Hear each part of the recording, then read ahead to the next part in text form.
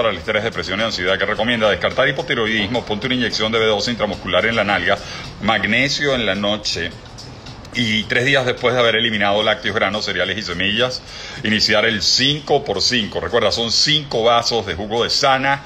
Ahora, por extractor, no licuadora, no las peles. En la cáscara abunda el secreto falcarinol y terpenos. Y si la puedes preparar la noche anterior y refrigerarlo por un día. No lo estás haciendo por su poder antioxidante, lo estás haciendo por los terpenos y el falcarinol. Empieza a pelar la cebolla, empieza de frecuente a infrecuente, de fácil a complejo. Empieza descartando hipotiroidismo. Mucha depresión es un hipotiroidismo. Mucha depresión es una deficiencia de B12. Mucha depresión es un insomnio causado por deficiencia de magnesio.